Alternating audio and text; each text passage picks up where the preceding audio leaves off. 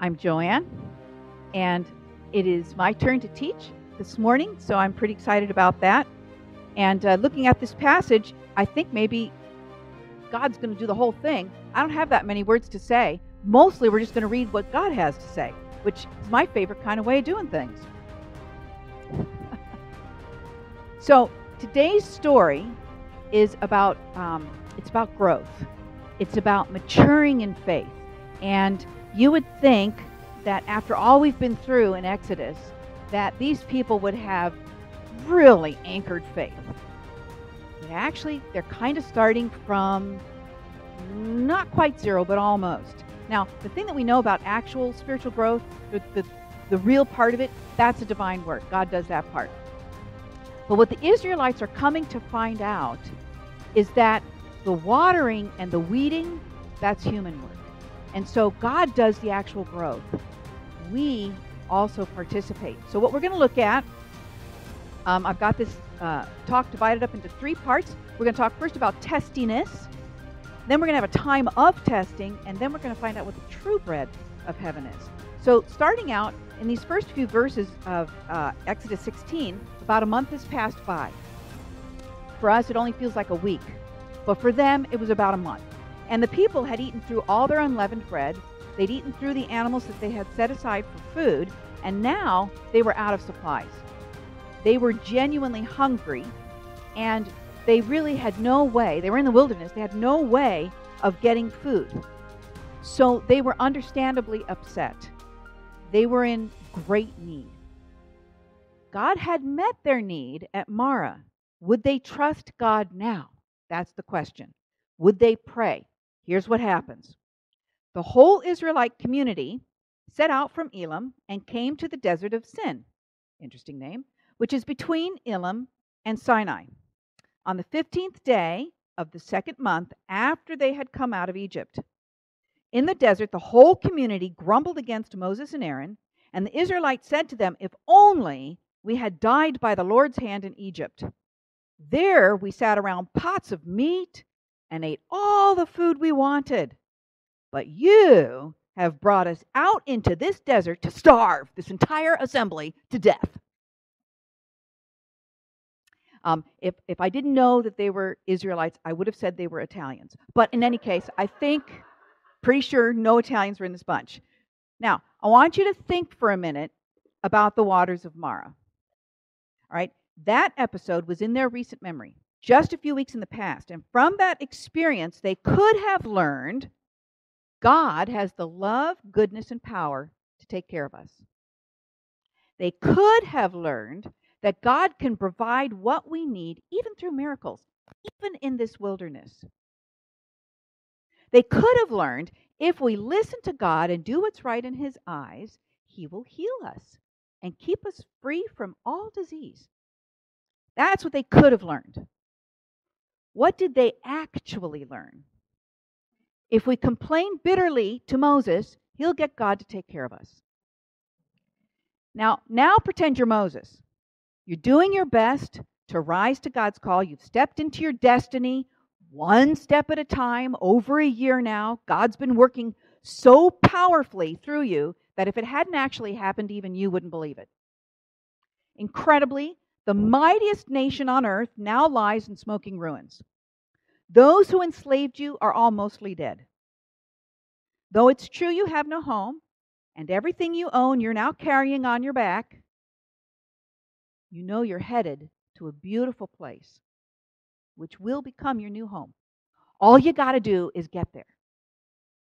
But now, an entire nation of hungry, bedraggled, upset people whose life skills include making bricks have turned on you. They've hinted that you're either foolhardy and rash for bringing them out into the wilderness and killing them by accident, or worse, you've been intending to kill them all along by the slow and gruesome death of starvation. Now, they're saying they wouldn't have minded dying by God's hand, quick and sure. Like, you know, those boils. That was quick, wasn't it? Okay. Or any of the other things. Not really quick and sure, but that's what they're saying. We, we wish God had just killed us then. but they're miserable facing the prospect of dying by degrees of hunger and starvation. And they're saying it's due really mostly to you and Aaron's inept leadership. Also, by the way, have you noticed that they've created a false memory of Egypt? Back then, it was barbecue all day. We sat around pots of meat. We ate whatever we wanted. How quickly they'd forgotten the trauma and despair of their enslavement. Now, Moses doesn't seem to have been worried about this part at all. He had complete faith in God's provision because notice, Moses prayed not because he was hungry, but because of the people's violent anger against him. And notice also as we read this that it's not to the people's distress that God speaks, but to Moses' prayer that he responds. Let's see what happens. Then the Lord said to Moses, I will rain down bread from heaven for you. The people are to go out each day and gather enough for that day. In this way, I will test them and see whether they will follow my instructions. On the sixth day, they are to prepare what they bring in and that is to be twice as much as they gather on the other days. Now, I want you to notice two things three, but really two. Notice God's gentle patience. Notice the word test. The people were to work together, they were to develop trust in God's provision. And the third thing is, they were to pay attention to this whole sixth day thing of preparing extra. Then Moses instructed the people.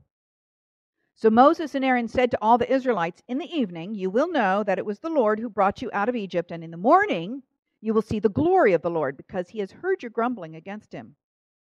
Who are we that you should grumble against us? Moses also said.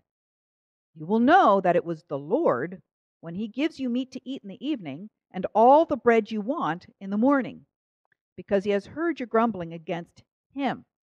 Who are we? You are not grumbling against us, but against the Lord. And I had to think about that. He used that word grumble quite a bit. Being critical and complaining can actually be a habit. And like any other habit, it can develop a well worn groove in our brains and, and become such a habit that we feel vaguely uncomfortable if we don't complain. If we don't find somebody to grumble against and blame for whatever it is or be critical of. As a kid, uh, my parents were musicians, and they taught us, I was telling Dave about this this morning, they taught us how to discern every instrument in an orchestra and to figure out if it had made a mistake. And they trained us to listen to voices in a critical fashion so we would, I think what they wanted was so that we would learn how to do better than that. What's happened is that I can't walk through an antique store and listen to an opera if the soprano is shrieky. It just makes me like, ah, I can't do it, I can't do it, instead of enjoying it. It just becomes a groove in your brain. Our culture tells us it's healthy to blow off steam. Everybody heard that, right? Everybody feels that that's true. Our culture tells us that that's a good thing. And, and it does sound good because we know that if engines uh, don't release the pressure in them, they'll simply blow up. Our culture tells us that it's good to get it out, tell the truth, tell it like it is. But the thing about complaining and grumbling and, and even blowing off steam is that sometimes it's just quarreling. Sometimes it's not actually about the truth and telling the truth. Sometimes it's just indulging a sense of superiority or a sense of being a victim and not being responsible. Sometimes it's, it's just a sense of entitlement. So we have to be careful about it. Complaining and grumbling often just come from a self absorbed perspective. I'm unhappy. I'm uncomfortable. And it's your fault. Jesus, Peter, Paul, James, and Jude all talked about complaining and grumbling in the Bible. So evidently, it was a problem in the first century church. We all want to go back to the first century church, but it was a problem then too. It's the natural bent of our fallen human nature. So the truth was, there was no food. The truth was they had no way of getting more food. The truth was they were in desperate need. But what they did with that situation, that's the balance. So what do we do? Well, the Apostle Peter put it beautifully. He said, Cast all your anxieties on him because he cares for you. Grumbling actually distorts good judgment and it feeds on self pity. So you and I can just listen to what we think about all day long, and we can listen to what we talk about, and then we'll find out if we have this habit deeply engraved in our brains. Scripture provides a better way to deal with disappointment and fear and anger and hurt and betrayal, all the things that we do grumble about. Scripture says there's a way to do this. Instead of talking against God or against others, talk to God. Talk with others. And that's exactly what, what Moses did with the people's complaints. He brought them to God. I also think that's why God had three people in that leadership team, not one, because they all needed each other as wise ears to help the other leader gain perspective. All of us fall down in this, but all of us need each other to, to give us not only warmth, not only hugs and comfort, but also perspective. We need balance. So, our question really at this point is what is the balance between our complaining and grumbling, and our critical talking, and our talking with God and wise other people about it? Well, that brings us to the time of testing. Now Moses spoke with the conviction of the Holy Spirit in his words, I think. Would the people repent or would they harden themselves to what God was telling them? Here's what Moses said Moses told Aaron, Say to the entire Israelite community, did you ever wonder if they had loudspeakers? I don't know how they did this. Say to the entire Israelite community, Come before the Lord, for he has heard your grumbling. While Aaron was speaking to the whole Israelite community, they looked toward the desert, and there was the glory of the Lord appearing in the cloud. And the Lord said to Moses, I have heard the grumbling of the Israelites. Tell them, at twilight you will eat meat, and in the morning you will be filled with bread. Then you will know that I am the Lord your God. That evening quail came and covered the camp, and in the morning there was a layer of dew around the camp. Now, catch that. They were to look in the desert they were to watch that pillar of cloud and fire. How could they possibly doubt God's goodness to them and his mighty power to provide as they watched that cloud and quail appear on the horizon and fly right down to their feet? I don't know, they had little signs, please eat me. How could they doubt? When the dew was gone, Thin flakes like frost on the ground appeared on the desert floor. When the Israelites saw it, they said to each other, What is it? For they did not know what it was. Moses said to them, It is the bread the Lord has given you to eat. This is what the Lord has commanded. Everyone is to gather as much as they need. Take an omer for each person you have in your tent. Pay attention to that. Do you see that? Take an omer for each person you have in your tent. There were some people who couldn't gather. There were surely pregnant women. There were surely babies. There were surely people who were frail or aged. People who had disabilities. Take an omer for each one in your tent. Manna actually means, what is it in Hebrew? It's like kangaroo. What is it? Everyone who was able to was to gather manna each morning until the sun melted the manna away. And then they pulled it together, what they'd gathered, and incredibly, every person ended up um, with an omer. Now, the Apostle Paul referred back to this story when he was explaining to the Corinthians about how to take care of each other and be generous to each other. Did you know that? Isn't that an interesting thing? Here's what he said Our desire is not that others might be relieved when you are hard pressed, but that there might be equality. At the present time, your plenty will supply what they need, so that in turn, their plenty will supply what you need. The goal is equality, as it is written The one who gathered much did not have too much, and the one who gathered little did not have too little. Isn't that interesting? Once a week, they were to collect and prepare twice as much manna in order to rest the next day. God was beginning to teach the people about the Sabbath. Now, you and I know that God had established the Sabbath on the seventh day of creation, but it's possible they didn't know that. So he's going to teach them now. God's test, unfortunately, was very short lived. The Israelites did as they were told. Some gathered much, some little. And when they measured it by the omer, the one who gathered much did not have too much, and the one who gathered little did not have too little. Everyone had gathered just as much as they needed. Then Moses said to them, No one is to keep any of it until morning. However, some of them paid no attention to Moses. They kept part of it until morning, but it was full of maggots and began to smell. So Moses was angry with them. Who was angry? Moses.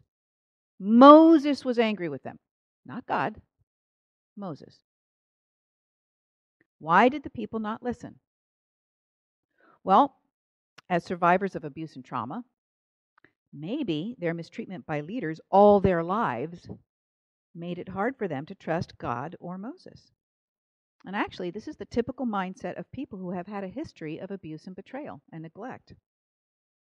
Foster children, uh, often foster children who have been abused or neglected, will squirrel away food, even though they've been reassured by very kind and loving foster parents that there will be plenty of this next time. You will never go hungry. They still squirrel it away, they still eat as much as they can because that's not how they grew up. So they don't know.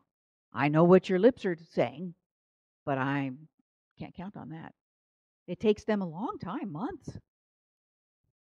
Months. To understand that it's the truth. We'll take care of you. Now, the Israelites had grown up in a culture of slavery. It was their whole mindset to believe that they were at the bottom of the pile, that nobody had their good interests in mind. They were just tools. They were suspicious and cautious. They were afraid someone might get more or take their share.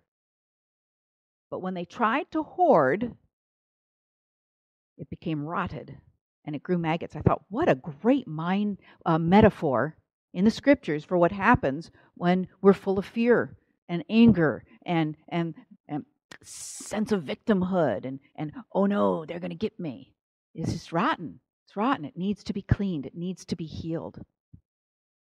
And, and I had to ask myself, when has my own mistrust of God spoiled what He had in mind for me?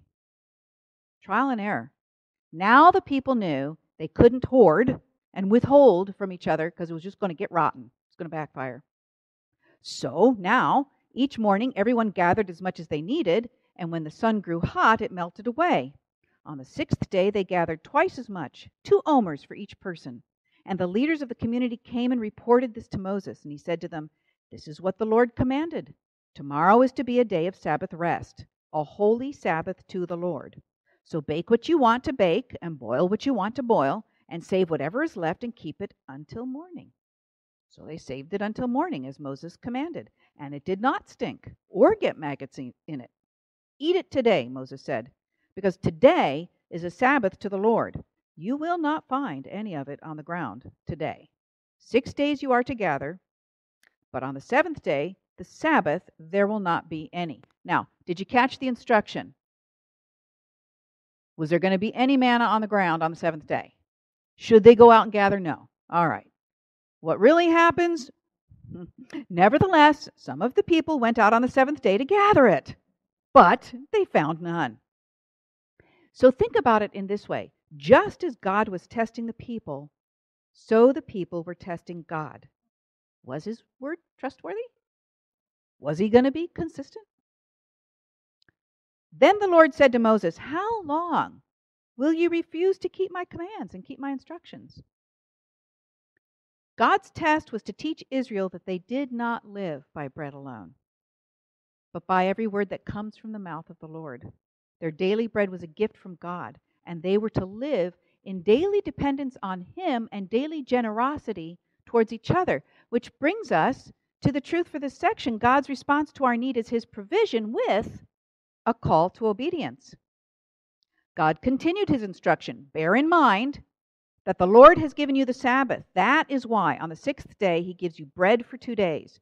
Everyone is to stay where they are on the seventh day. No one is to go out. So the people rested on the seventh day. So just as obedience is the right expression of faith, so faith makes obedience possible. It's like an organic feedback loop.